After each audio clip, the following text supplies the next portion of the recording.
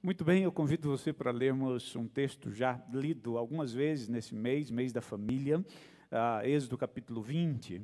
Eu vou do versículo 4 ao 6, estamos no mês da família, uh, e precisamos, como cristãos, nos posicionar diante do mundo, diante de tudo que está acontecendo, e dizer que a família, no modelo bíblico, ela é um uh, grupo é, monogâmico, heterossexual, indissolúvel, que se juntam para viver e propagar as verdades do Evangelho. Sabemos que existem outras definições de família na sociedade atual e o que nós devemos a todas essas pessoas é o nosso respeito.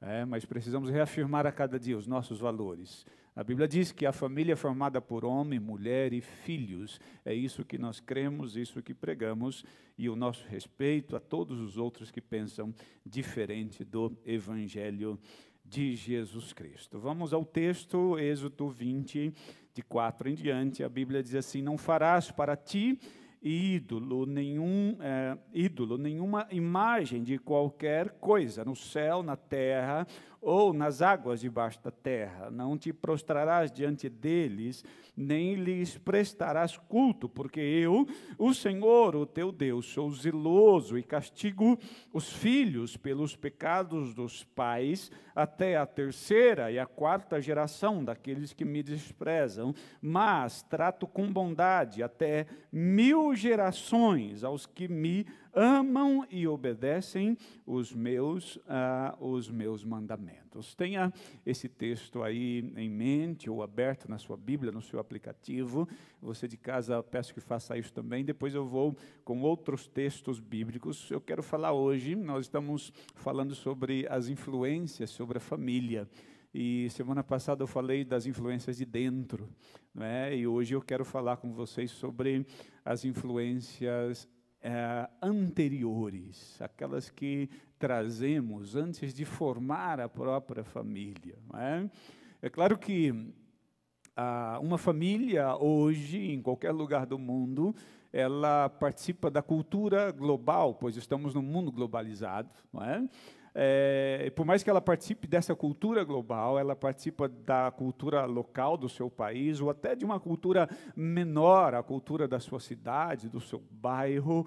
É, mesmo assim, toda família tem uma microcultura, toda família tem uma forma de ser, tem uma, uma mini cultura, é, uma mini cultura própria. E essa mini cultura, ela é formada pela história da própria família. Cada família família tem um jeito de juntar-se, um jeito de conviver, alguns mais extrovertidos, outros mais sérios. É, cada família tem o seu jeitinho de ser. Ah, e essa cultura da família, ela vai sendo, é, ela vai sendo desenhada é, por é, costumes, por hábitos, por ah, afetos e desafetos, por momentos carregados de afetos, momentos carregados de desafetos. É formada, é formada essa cultura por vícios e por é, virtudes, rituais, tradições, e toda essa mini cultura familiar, ela faz uma, uma travessia de uma geração para outra,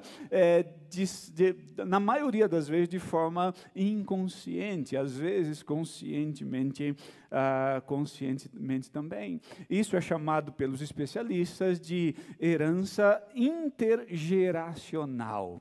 Herança intergeracional que foca muito mais aquela travessia ou aquela transmissão de cultura que considera as perturbações, os transtornos familiares, as patologias, disfunções familiares. A herança intergeracional considera mais esta, esse lado é, patológico da família, que é, é, é levado de pais para filhos, de filhos para netos, para entender melhor isso. Ah, para entender melhor isso, nós podemos, por exemplo, olhar o lugar de sujeito de cada um no contexto da sua família. Por exemplo, ah, um filho que está no lugar de observador da relação dos seus pais.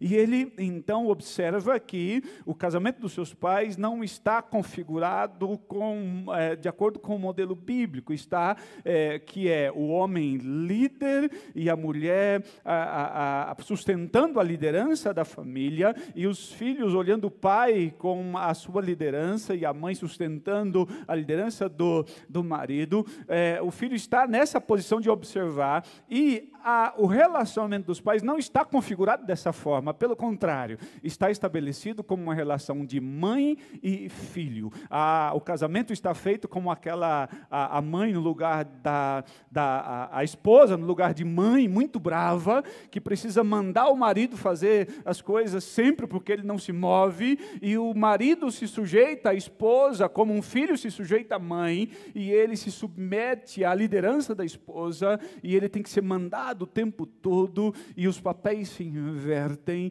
e o filho está na posição de observar tudo isso, de analisar tudo isso.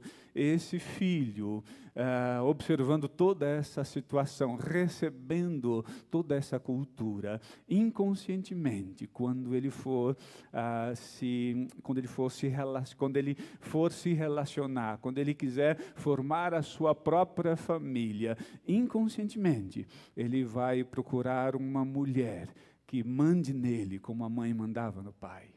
Ele vai procurar uma mulher que assuma na relação o papel de mãe, e ele vai se colocar no papel de filho. Isso acontece, na maioria das vezes, de maneira inconsciente, mas como isso acontece?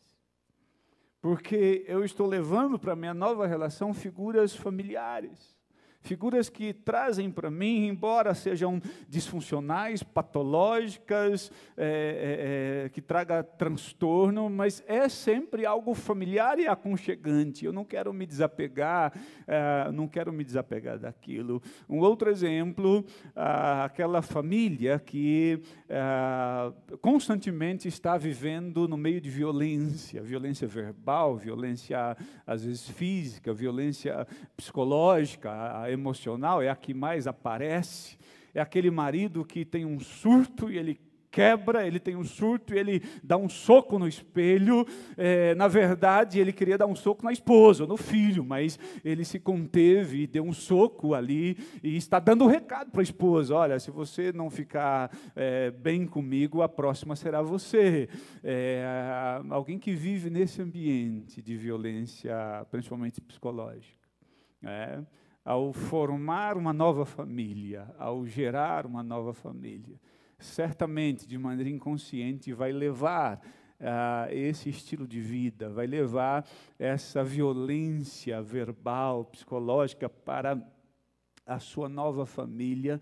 E eu é, tenho conversado com pessoas que quando ah, que viviam, que vieram de, de, de, famílias de origem assim, com muita violência, e nos momentos de muita paz na família que criou, elas se sentem, elas se sentem completamente desconfortáveis, porque elas se sentem distantes daquilo que é que sempre foi próximo, distante daquilo que é aconchegante para elas. Então, de todas as formas, e é, muitas vezes, se luta para se manter, para se perpetuar o ambiente de violência psicológica, emocional e até física, porque é, isso foi observado. Esse filho que formou uma nova família, ou essa filha, ocupou um lugar de sujeito na família anterior, de observador de uma cena, é, de uma cena que trazia muito transtorno e levou essa cena para a sua família, para a sua eh, nova família. Vocês conhecem quantas filhas que sofreram com pais alcoólatras? E parece algo incrível, mas se casaram com maridos alcoólatras. Por quê? Isso é chamado de herança intergeracional. Algum, alguns, alguns evangélicos chamam a mesma coisa de maldição hereditária. E aí eu vou para o texto que eu acabo de ler eh, para vocês. Maldição hereditária. O que, que seria essa maldição hereditária? Ela diz que os pais têm o poder para amaldiçoar os seus filhos com as suas palavras, com as suas atitudes, e que os pecados dos filhos, dos pais, perdão, são inevitavelmente herdados pelos seus filhos. E se, segundo a teoria da, da maldição hereditária, se agia na família dos meus pais, dos meus avós, uma, um espírito de prostituição, todos os meus filhos, netos, bisnetos estão condenados e todas as suas famílias serão, é, receberão essa herança. Se existe lá atrás uma, um espírito de adultério, um espírito de homicida, um espírito de pobreza, é, é, pobreza material, é, então automaticamente os filhos, os netos, os bisnetos, as gerações vão herdar esta, esse espírito de pobreza, esse espírito de prostituição, de, de morte, de homicida. É? os, os que acreditam nessa, nessa é, maldição hereditária usam principalmente o texto que eu acabo de ler para vocês como base. É? Volta ao texto, verso 5. Não te prostrarás diante deles, nem, nem prestarás cultos, porque eu, o Senhor, o seu Deus, sou Deus zeloso e castigo os filhos pelos pecados dos pais, até a terceira e a quarta geração daqueles que me desprezam. Esse é o texto base para quem acredita na maldição hereditária. Os filhos serão amaldiçoados pelos pecados dos pais. Ah, mas uma simples análise desse texto acaba com essa teoria, porque o verso 6 vai dizer, e o texto deve ser lido com um, um foco no verso 6 que diz: Mas trato com bondade até mil gerações aos que, é, aos que me amam e obedecem os meus mandamentos. Terceira e quarta geração para mil gerações tem uma diferença muito grande. E aqui o o texto está usando uma, um exagero, uma hipérbole, está usando uma linguagem figurada, e o objetivo do texto é focar a bondade de Deus e não o prazer de Deus em castigar pessoas. O foco do texto, se você ler novamente, vai, focar, vai de fato destacar a bondade de Deus em abençoar em até mil gerações aqueles que, é, daqueles que obedecem os seus, é, os seus, os seus mandamentos.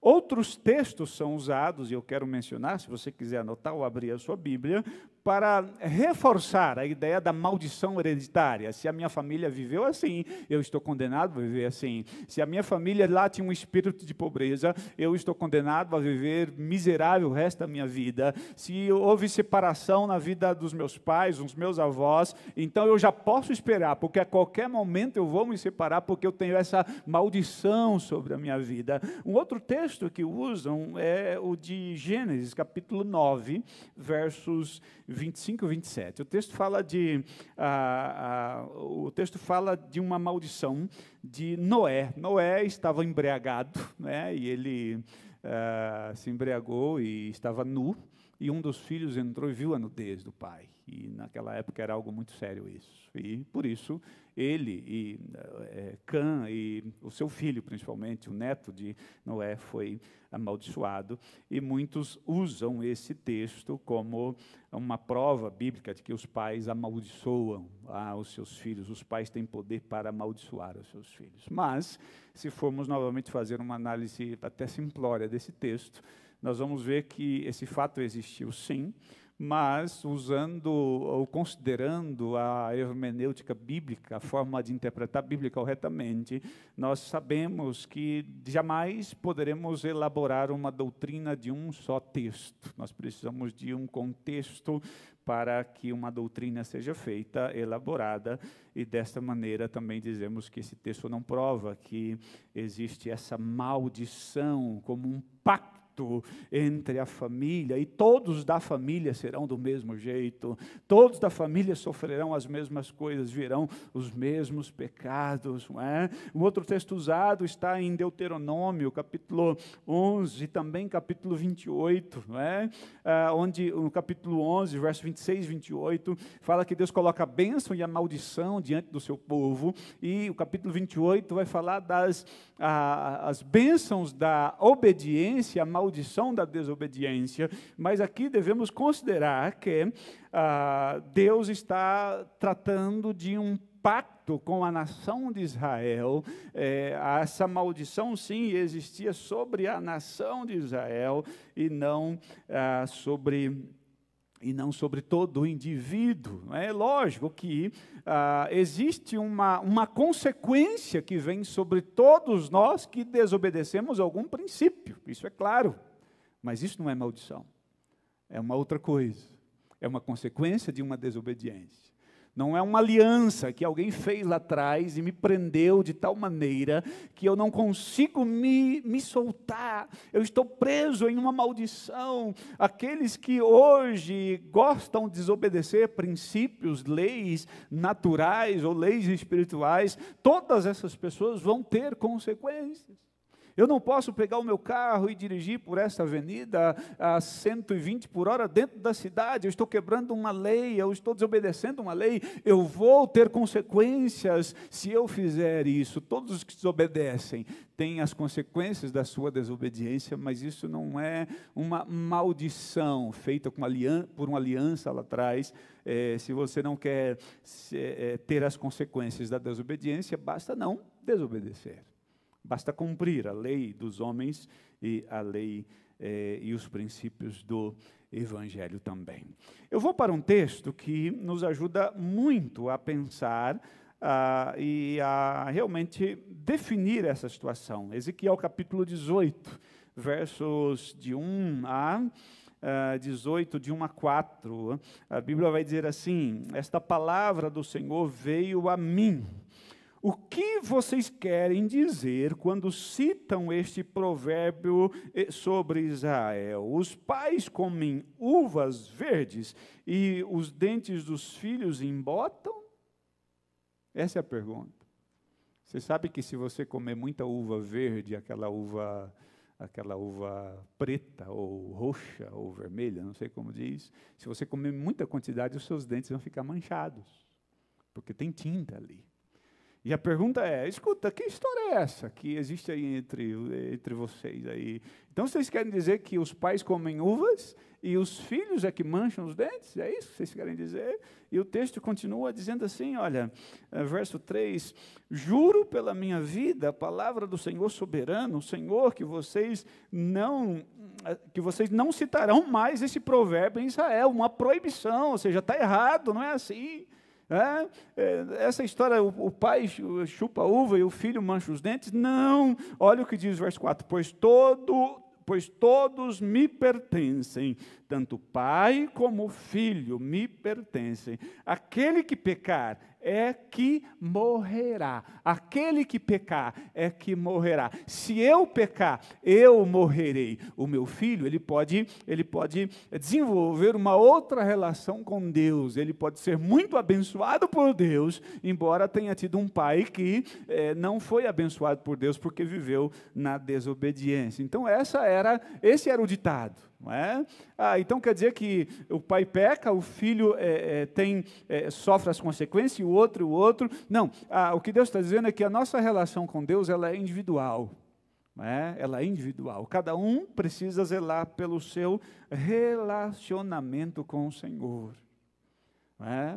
Relacionamento. Voltando ao texto inicial, é claro que nós entendemos que não é pelo fato de eu ser cristão é, eu, a minha esposa, os meus filhos, sermos cristãos, que é, automaticamente mil gerações após a minha, é, é, mil gerações serão, serão abençoados, será abençoada por Deus, né, simplesmente pelo fato. Mas agora, eu, como cristão, eu posso educar e formar os meus filhos na conduta cristã, para que os meus filhos eduquem os meus netos, para que os meus netos tenham firmeza no caminho cristão, e eles educam os meus bisnetos, e assim esta geração toda será abençoada, porque cada um eh, se posicionou diante de Deus ah, em obediência, em serviço, em, em submissão.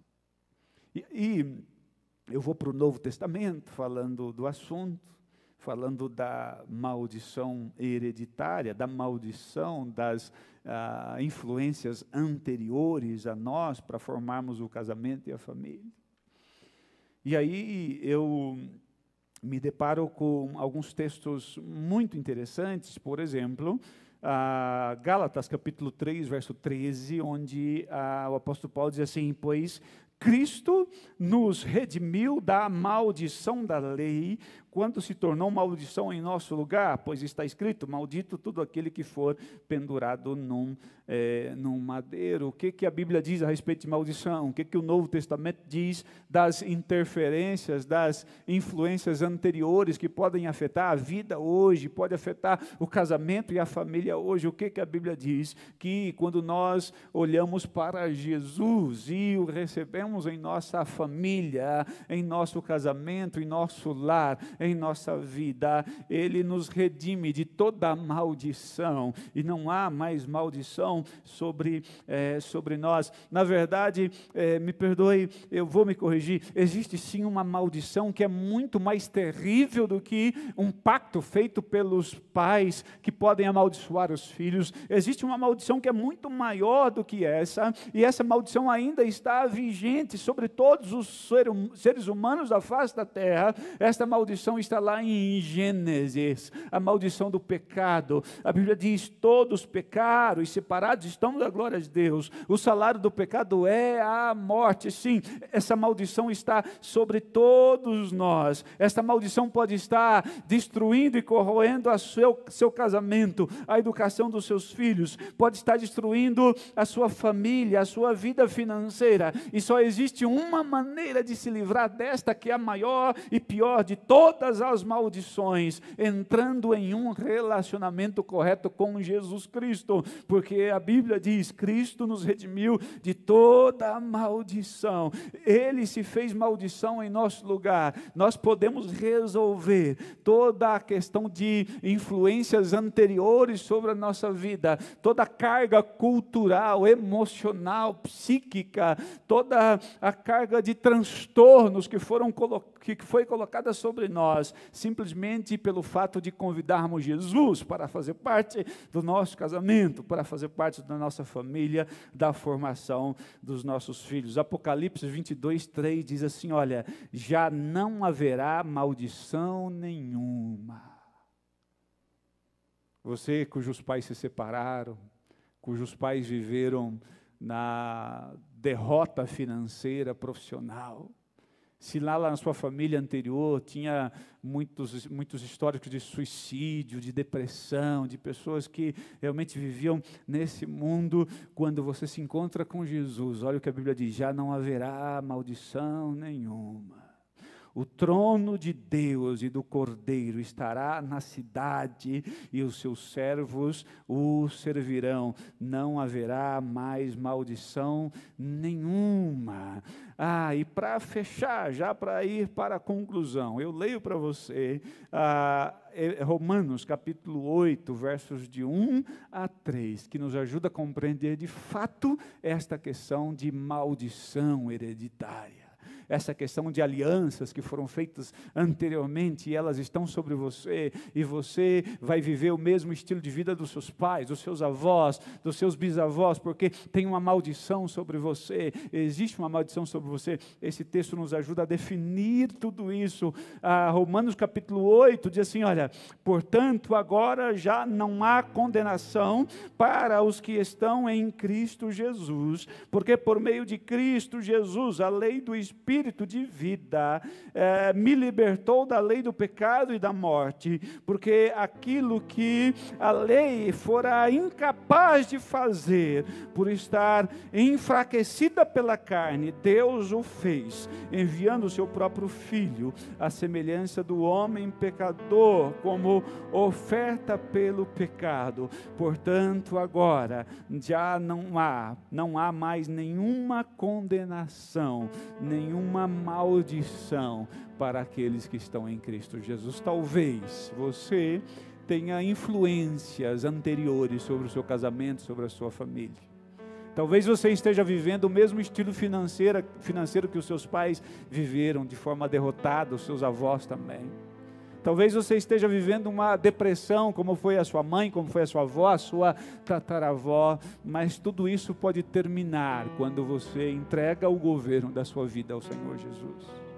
Não há maldição não há, não há nenhuma maldição, nenhuma condenação para os que estão em Cristo Jesus. Você quer quebrar toda essa maldição do pecado sobre a sua vida, esse que tem destruído o seu casamento, a sua vida financeira, a sua saúde emocional e física. Você precisa hoje mesmo tomar a decisão de iniciar um relacionamento correto com Jesus. Você precisa convidar Jesus para ser Senhor da sua família. Você precisa convidar Jesus para ser Senhor do seu casamento, Senhor das suas finanças. Você pode, Ele é poderoso para quebrar todo tipo de maldição, a maldição do pecado. Ele é poderoso para isso. Todo o poder está nas mãos do Senhor. Ele é Rei dos Reis, Senhor dos Senhores. Ele é médico dos médicos e pode curar qualquer enfermidade conjugal ou familiar. Não, é, não haverá nenhuma doença que o Senhor não possa curar. Não há nenhuma maldição que Ele não possa quebrar. Não há nenhuma situação que Ele não possa transformar. Ele é Deus, Ele é Senhor, Ele é governante supremo do universo, de todas as leis do universo, de tudo o que acontece. Ele tem poder sobre a vida e sobre a morte. Ele é Jesus e deseja entrar na sua família para acabar hoje com toda a maldição do pecado que destrói você, o seu casamento e a sua família. Eu quero convidar você de casa, você que está me assistindo assistindo aí do sofá da sua casa, você que está sentado aí com a sua família, eu quero convidar você para tomar a postura hoje de convidar Jesus para entrar na sua família e Ele vai quebrar toda essa maldição que existe sobre você, toda essa derrota que existe sobre o seu casamento. Você tem falado mais em divórcio separação do que em outras coisas, mas Jesus hoje quer entrar. Você que está em casa, pegue na mão da sua esposa, pegue paz nas mãos dos seus filhos e eu quero convidar vocês de casa para se colocar em pé agora,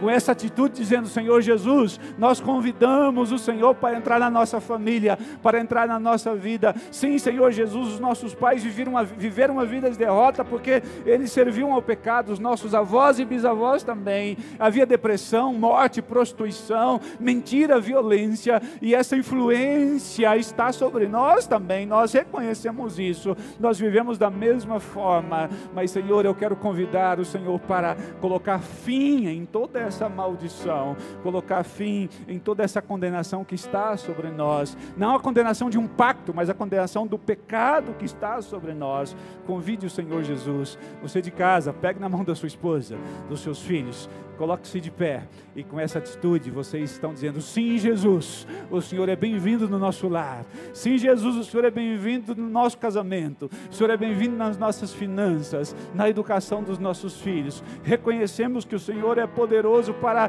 quebrar qualquer situação que haja sobre nós. Reconhecemos que a nossa doença o Senhor pode curar. Reconhecemos que a nossa situação o Senhor pode transformar. E por isso quero que o Senhor seja bem-vindo no nosso casamento casamento na nossa família. Se você fez isso de casa, tem um QR Code que você pode escanear com seu celular e você vai mandar as suas informações para mim. Eu gostaria de falar com você durante essa semana e poder caminhar com você nesse novo projeto de vida que é o projeto do Senhor Jesus para você e para sua família. Você aqui do templo, se tomou essa decisão de colocar Jesus como Senhor da sua família. Depois do culto eu estarei nessa salinha ao lado onde nós vamos podemos conversar e orar juntos, consagrando a sua vida a Deus. Vamos a Deus em oração. Baixe sua cabeça, feche os seus olhos. Pai, em nome de Jesus. Obrigado porque não há condenação para aqueles que estão em Cristo Jesus.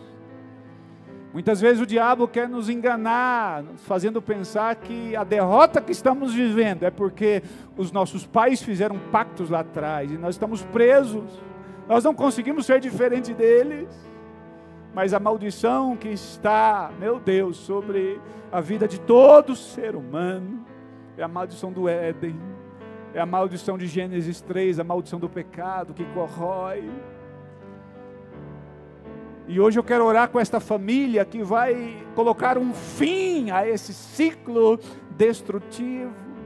Eu quero orar com esta família, meu Deus, que está colocando um fim nesse ciclo de violência, de enfermidades emocionais. Eles estão convidando o Senhor para ser o Senhor, governante supremo de seus casamentos e famílias. E o Senhor vai entrar. E não há doença que o Senhor não possa curar, não há situação que o Senhor não possa alterar, desde que o Senhor seja o governante supremo. Pai, eu quero consagrar essas famílias que em casa estão em pé agora, dizendo com essa atitude atitude, nós te recebemos, Senhor, na nossa casa, nós te recebemos no nosso lar, venha ser o nosso governante supremo. Oh Deus querido, eu consagro essas famílias ao Senhor.